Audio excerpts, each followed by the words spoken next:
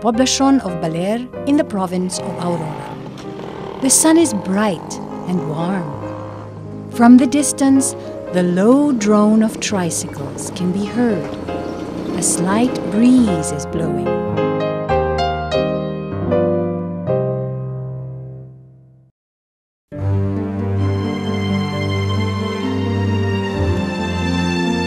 By the local church, located at the center of a cluster of renovated one story houses, there lies etched footprints painted red. From the door of the church, they continue across the yard and into the street beyond.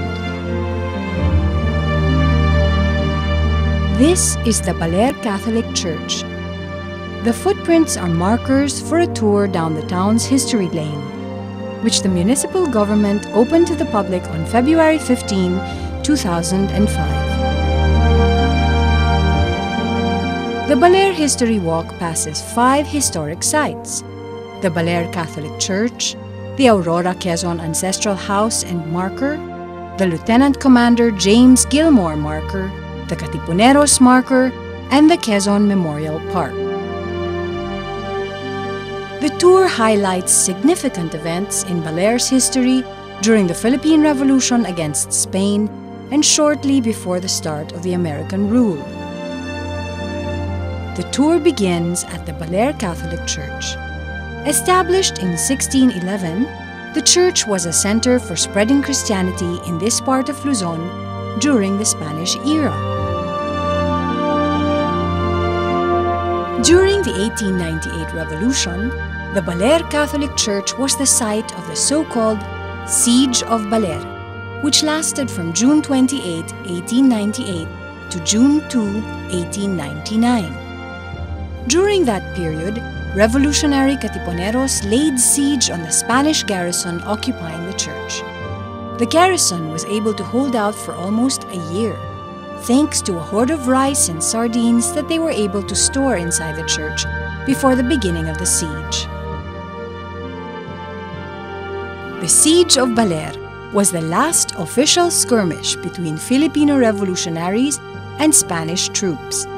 The 35 Spanish survivors of the siege were escorted by revolutionary troops in a triumphant parade back to Manila, where they boarded a ship bound for Spain.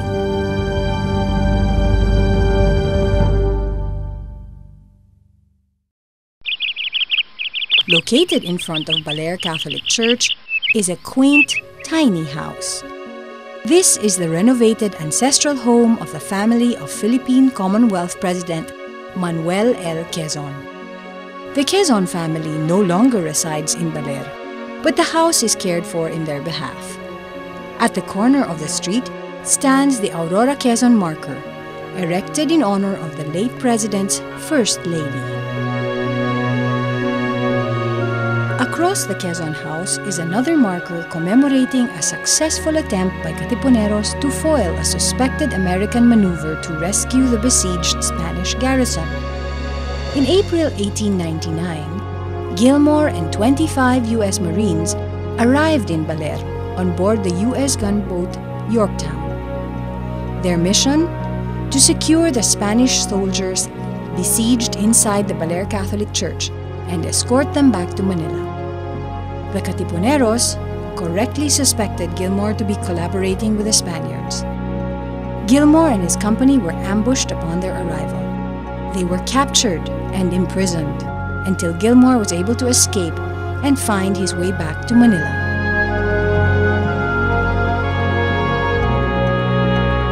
A short distance from Lieutenant Commander Gilmore's marker is a marker dedicated to the brave Balereño Katipuneros who fought during the siege of Baler. Developed in honor of the late President Manuel L. Quezon, the Quezon Memorial Park boasts of manicured lawns and gently swaying trees. Situated among the foliage lies a small marker dedicated to the great statesman. The advent of time had taken its toll on the Quezon's ancestral home. As such, a replica now stands in its place.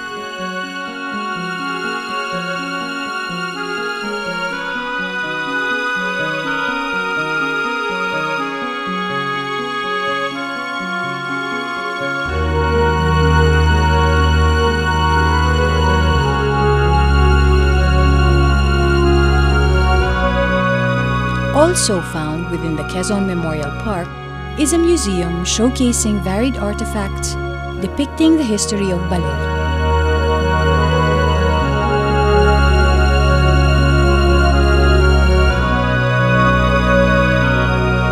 Today, the small town of Baler stands as a testimony against the eroding sands of time.